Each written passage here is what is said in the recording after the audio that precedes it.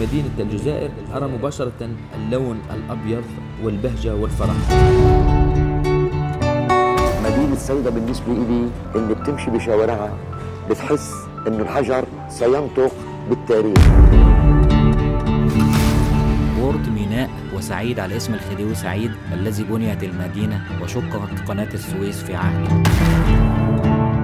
مدينة مهران مدينة منفتحة دائما تحدثني وتحاول ملامسة شغفي. لا نصفك لأنك ما زلت تبحثين في جلدك عن فمك المندمر قالت لي الزغرتة قالت لي الزغرتة ما تسافي